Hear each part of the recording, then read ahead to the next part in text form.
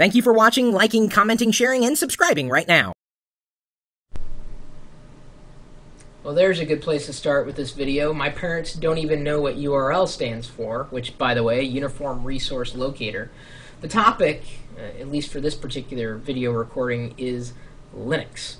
And this is a topic that comes up quite regularly in the chat room at live.pirillo.com. And a few people were wondering, they're asking me specifically, uh, if I thought that Linux would ever take off in the mainstream, like Windows has, or like OS 10 has, an offering or the operating system from Apple. Linux is an open source operating system, meaning that various members of the community can contribute to it, and in doing so, everybody could reap the benefits from their knowledge. And that is a very powerful thing. Unfortunately, it's also a very, uh, how shall we say it, um, marketing unfriendly thing. Because since everybody's got a different idea about how something should look and work, well, it's taken the whole Linux community years to get their act together and produce something that would look mm, just a tiny bit attractive for people like our parents who may not understand what a lot of these technical terms are. Ubuntu has been gaining a lot of mind share in the Linux community as bringing the power of Linux to the masses. Uh, at this point, Ubuntu's probably got the best chance at taking off in, in terms of uh, adoption in the marketplace.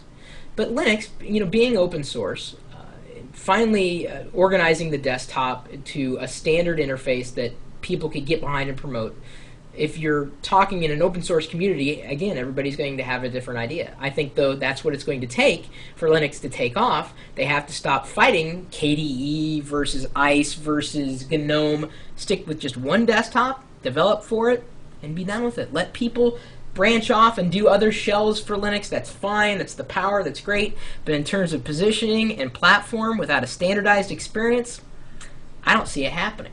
I mean, my parents had a tough enough time with Windows, and you think I'm going to throw Linux at them?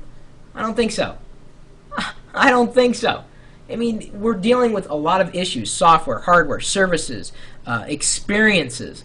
And Linux, this, the biggest strengths are also its biggest weakness. I could ask people here what distribution they use. Some people are going to respond to Ubuntu, some people Red Hat. Some people are going to say they don't use Unix at all. Now, me, what I use for Linux? Oh, everything I use is on a CD. I just use what they call a live CD distribution, which basically you can burn an image of Linux to a CD, put it in your CD drive, reboot. It'll boot up to the as long as it boots up to the CD. Linux will load up into in, into memory, and I can be in Linux. But then when I reboot the machine, I can take the CD out, and it didn't touch my hard drive at all. That's the way I experience Linux. Or I experience it through a virtual machine, which we've talked about before on this show. But as a primary operating system, I don't know, man. There's there's way too much. Um, I don't want to say animosity, but it seems that in many places, when people reach out for help with Linux, the answers are totally user unfriendly, and I mean human unfriendly.